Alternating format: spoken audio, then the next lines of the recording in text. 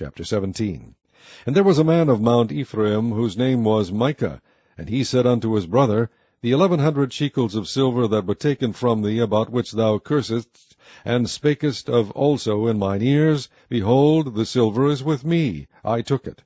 And his mother said, Blessed be thou of the Lord, my son. And when he had restored the eleven hundred shekels of silver to his mother, his mother said, I had wholly dedicated the silver unto the Lord from my hand for my son, to make a graven image and a molten image. Now therefore I will restore it unto thee.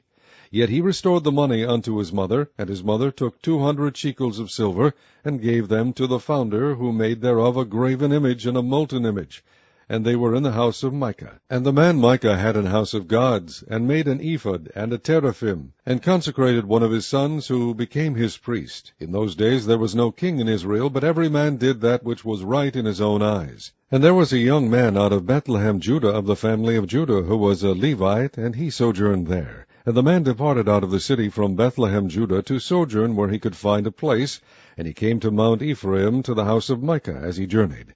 And Micah said unto him, Whence comest thou? And he said unto him, I am a Levite of Bethlehem, Judah, and I go to sojourn where I may find a place.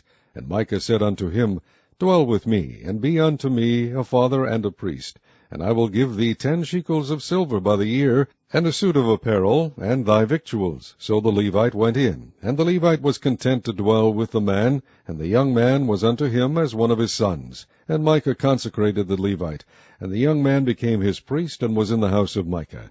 Then said Micah, Now know I that the Lord will do me good, seeing I have a Levite to my priest.